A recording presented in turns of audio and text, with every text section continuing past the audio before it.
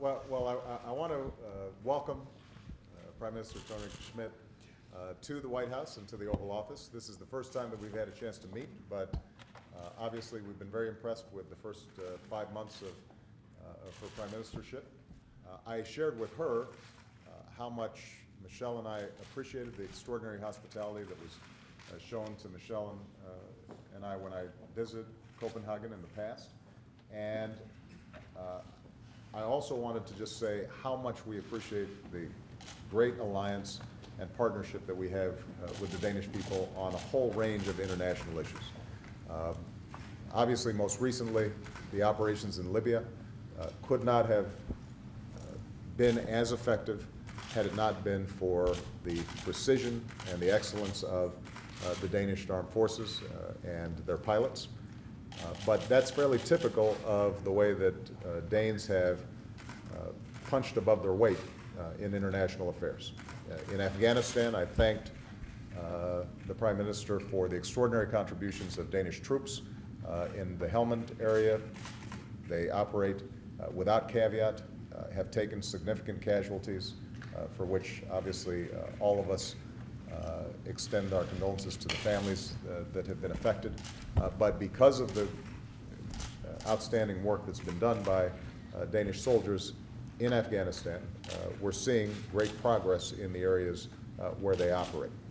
Uh, We had a chance to talk about the economy. Uh, We, uh, we, as we were exchanging notes, it it turns out that like folks here in the United States, everybody in uh, Denmark wants to talk about the economy all the time, uh, and jobs and growth. And uh, we agreed that there has been some progress uh, in resolving the sovereign debt issues, uh, that there's been some progress with respect to the agreements between the EU and the IMF uh, and Greece, uh, the new government in Italy, new governments in Spain and Portugal are all making some significant progress, but that there's a lot more work to do.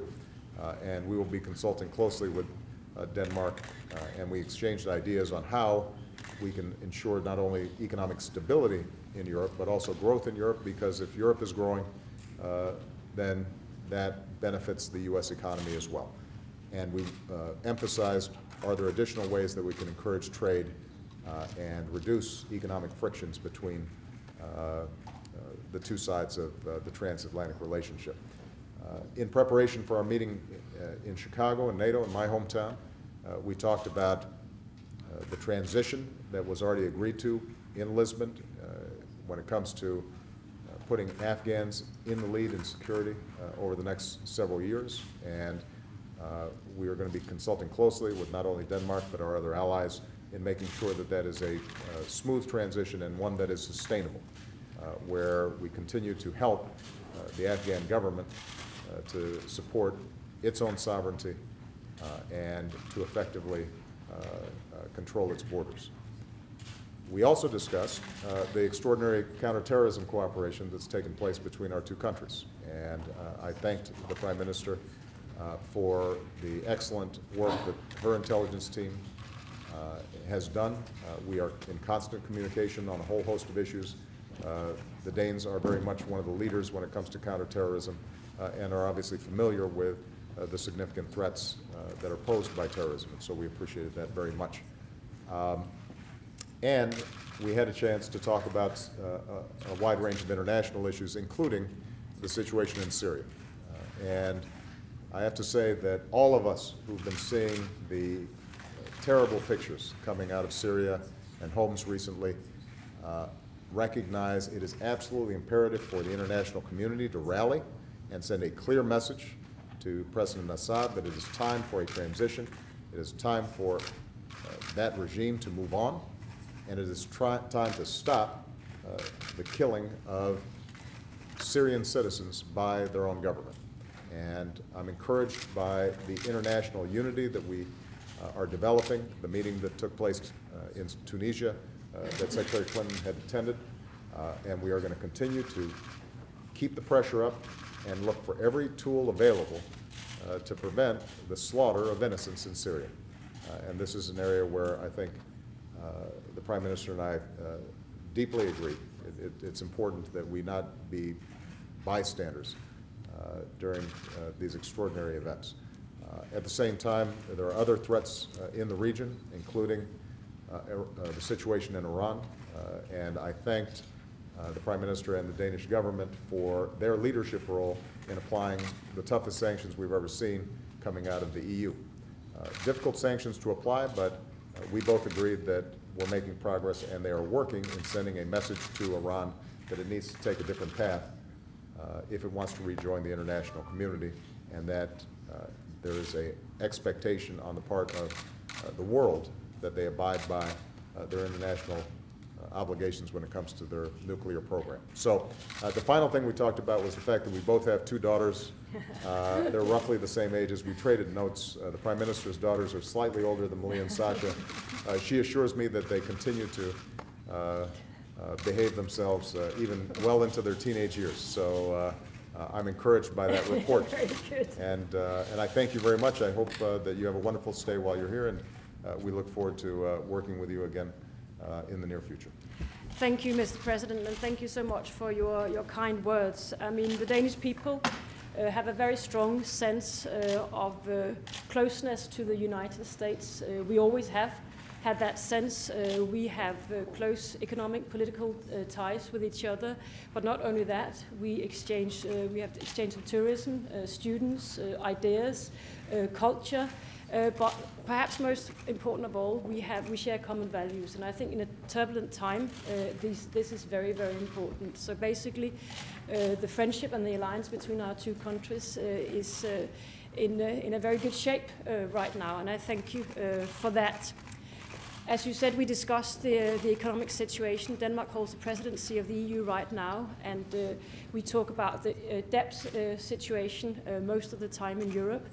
Uh, I convey the message to the President. I am convinced uh, that we will uh, see ourselves through uh, this, this crisis. We, we have put some very important measures in place. We have fiscal consolidation, we have reforms, and we have uh, a focus on growth and jobs right now. In doing that, in, in, in this endeavor, I think a closer transatlantic uh, relationship would be important. We are dependent on each other and we should have closer trade with each other, and I think that will be part of creating a sustainable growth in, in our uh, countries. As you were saying, Mr. President, um, we also have uh, close ties in terms of uh, security. Uh, it is uh, clear and has been for a long time that Danish soldiers are serving alongside uh, American soldiers in Afghanistan, and I use the opportunity today to thank you and the American people for the great effort you have put uh, in Afghanistan. It is greatly appreciated worldwide, and I know that the Danish people uh, really appreciate uh, the global leadership that you and your people have taken also in, in that context. Uh, I look forward, of course, to coming back to the States, to your hometown, Chicago, participating in the NATO summit. What we will be discussing there is uh, Afghanistan, of course. Uh, one of the major issues there is the transition to the next phase in Afghanistan, and where, what we want to, see is the Afghans taking over responsibility for their own security, and we are in Europe with the, under Danish leadership trying to uh, gather donors uh, in this, uh, in, in securing that the Afghans are capable of taking over their own uh, security. Uh, we have some great examples of our alliance. Uh, we have uh, worked together again in, uh, in Libya, where we, uh, we uh, made sure uh, that we uh, that Libya came out uh, on a path of democracy, and I think again the Americans showed leadership in the, in that context. Another area that we discussed, as you said, was uh, Syria, which is uh, quite the opposite situation. It is horrendous what we see in Syria right now, but I think it is also very, very true that uh, we have worked together in that area. We must continue continue that endeavor. And just today, we have seen that under the leadership of the, the League of Arab States, uh, there has been a, a, a a step forward in, in trying to put pressure on, on Syria, which is very, very important. The same, of course, goes for uh, Iran. Another area in security where we work together is in terms of piracy.